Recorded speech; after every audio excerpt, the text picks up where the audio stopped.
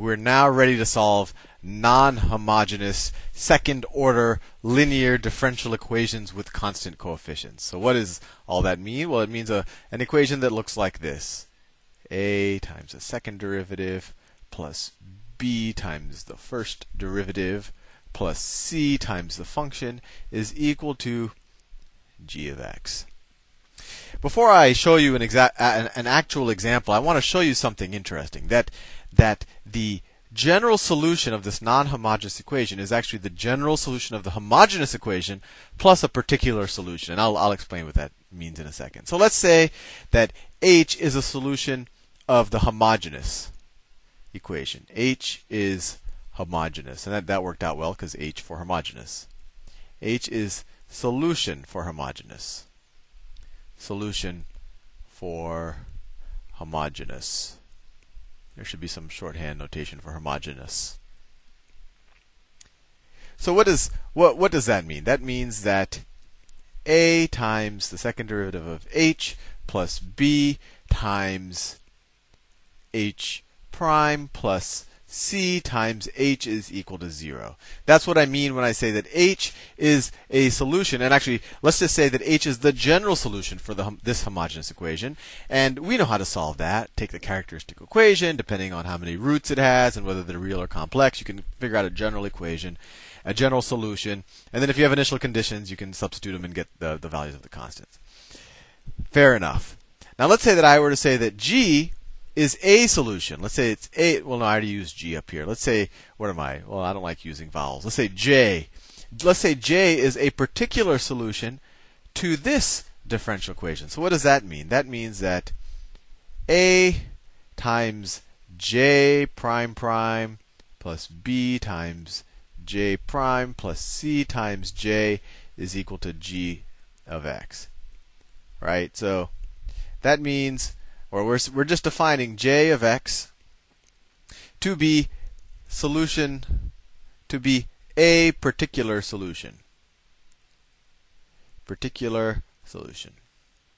Now what I want to show you is that j of x plus h of x is also going to be a solution to this original equation and that it's it's the general solution for this non-homogeneous equation. And and before I just you know do it mathematically, what's the intuition? Well, when you substitute h here, you get zero. When you substitute j here, you get g of x. So when you add them together, you're going to get zero plus g of x here. So you're going to get g of x here, and I'll I'll show you that right now. So let's say so let's say I wanted to substitute h plus j here. So what is and I'll do it in a different color.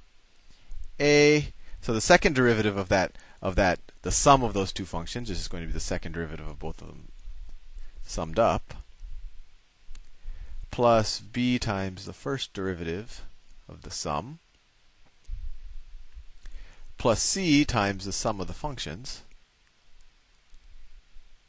And my goal is to show that this is equal to g of x. So what does this simplify to? Well, if we take all the h terms, we get a h prime prime plus b h prime plus ch uh, plus, let's do all the j terms, a j prime prime plus b j prime plus c j.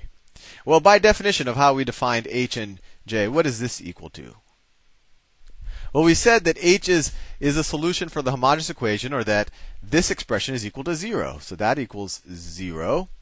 And by our definition for j, what does this equal? Well, we said J is a particular solution for the non-homogeneous equation, or that this expression is equal to g of x. So this is equal to g of x.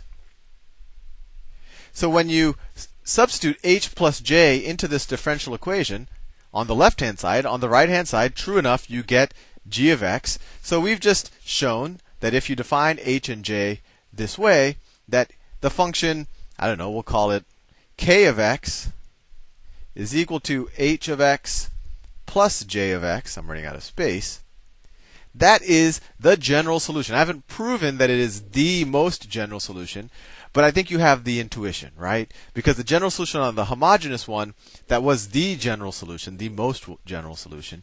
And now we're adding a particular solution that gets you the g of x on the right hand side. that might be very confusing to you. So let's actually try to do it with some real numbers. I think it'll make a lot more sense. So let's say we have the differential equations, and I'm going to teach you a technique now for figuring out that g or that j in the particular in that last example. So how do you figure out that particular solution? So let's say I have the differential equation, the second derivative of y minus 3 times the first derivative minus 4 times y is equal to 3e to the 2x. So the first step is we want the hum, we want the general solution of the homogeneous equation. So first we can get, and in that example I just did, that would have been, been our h of x. So we want the solution of y prime prime minus 3 y prime minus 4y is equal to 0. Take the characteristic equation.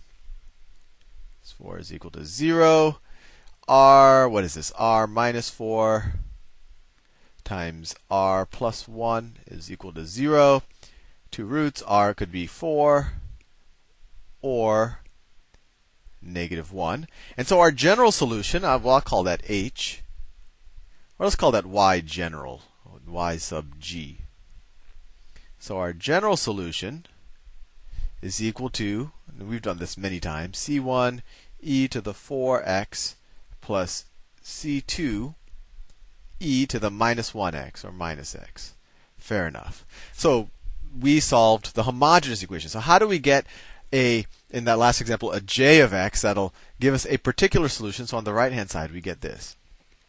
Well, here we just have to think a little bit, and this this method is called the method of undetermined coefficients. And you have to say, well, if I want something, some function where I take its second derivative and add that or subtract it some multiple of its first derivative minus some multiple of the function, and I get e to the 2x, that function and its derivatives and its second derivatives must be something of the form something times e to the 2x. So essentially we take a guess. We say, well, what what does it look like uh, when we take the derivatives and and and the, the various derivatives and the functions and we multiply multiples of it plus each other and all of that, then we get e to the 2x or some multiple of e to the 2x. Well, a good guess could just be that j, which is our well, I'll call it y particular. Our particular solution here could be that, and particular solution I'm using a little different than the particular solution when we, we had initial conditions. Here we can view this as a particular solution, a solution that gives us this on the right hand side. So let's say that the one I pick is some constant a times e to the 2x. If that's my guess, then the derivative of that is equal to 2a e to the 2x. And the second derivative of that, of my particular solution, is equal to 4a e to the 2x. And now I can substitute in here, and let's see if I can solve for a, and then I'll have my particular solution. So the second derivative, that's this. So I get 4a e to the 2x minus 3 times the first derivative. So minus 3 times this. So that's minus 6a e to the 2x minus 4 times the function. So minus 4a e to the 2x. And all of that is going to be equal to 3 e to the 2x. Well, we know e to the 2x doesn't equal 0, so we can divide both sides by that. Just factor it out, really. Get rid of all the e's to the 2x. And on the left hand side, we have 4a and a minus 4a. Well, those cancel out. And then, lo and behold, we have minus 6a is equal to 3 divide both sides by 6, you get a is equal to minus 1 half. So there, we have our particular solution. It is equal to minus 1 half e to the 2x.